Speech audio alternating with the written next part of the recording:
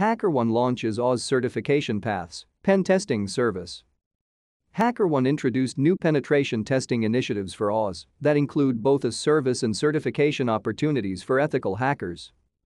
On Wednesday, the vulnerability reporting and bug bounty vendor announced it will sponsor members of its vetted pen tester community to earn existing AWS certifications.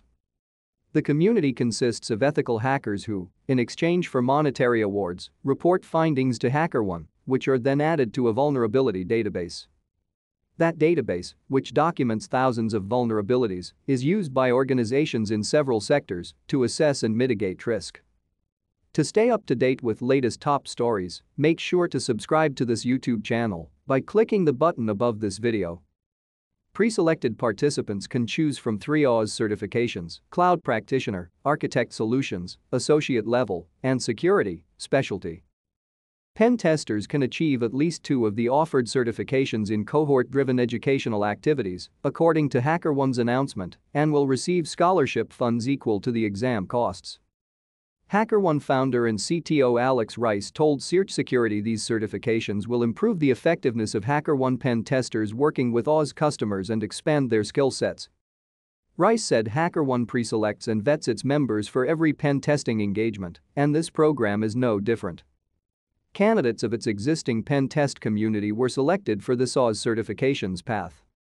This, ultimately, means we now have a dedicated pool of pen testers with AWS certifications to select from for our customers that also use AWS, Rice wrote in an email to Search Security. In tandem with that goal, HackerOne's new application pentest for AWS is tailored specifically for applications deployed in AWS. The service is designed to discover risks specific to an organization's AWS environment using top cloud vulnerabilities found on its platform to help prevent data leaks, subdomain takeovers, unauthorized access to applications and more, according to HackerOne. With the new service, the company hopes to expand effectiveness in quickly identifying AWS application vulnerabilities. The certification paths and pen testing services are the latest additions to HackerOne's existing relationship with AWS.